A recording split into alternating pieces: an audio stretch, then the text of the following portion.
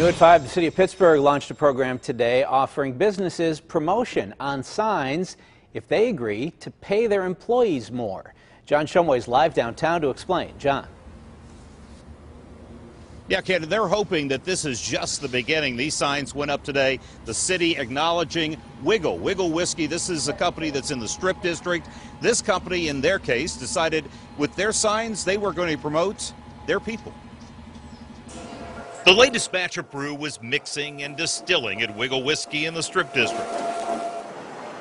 Meanwhile, the city started putting up promotional signs on bus stops for Wigle. To promote them because they're paying a good wage. It's a city program to encourage employers to lift up those trying to exist on a minimum wage. I think it was almost something like 40,000 that are around the minimum wage right now. So, I mean, you're talking about having them have a couple extra dollars in their hands. To qualify for the publicity, a business must raise their employees from minimum wage to $10.10 an hour, which is exactly what Wigle did.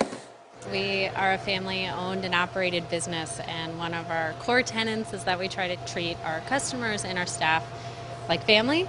So, living wages are, of course, an essential part of that. The promotional signs for Wigle are up downtown in the Strip, Lawrenceville, and Spring Garden. Grelli hopes their efforts will speak to other employers. By making this very public statement, we're hoping to say, we're doing it. We think others can do this as well.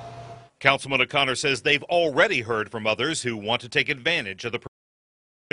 We've had businesses that already pay $16 an hour that want to do this because they're going to raise their employees' wages again. O'Connor says the program is making strides towards the ultimate goal of more employees making a better wage in the city of Pittsburgh. And these signs for Wigle have been going up all day today. And as long as they keep their wages up, these signs will stay up for about the next six months at least. Live on Fifth Avenue, John Shumway, KDKA TV News.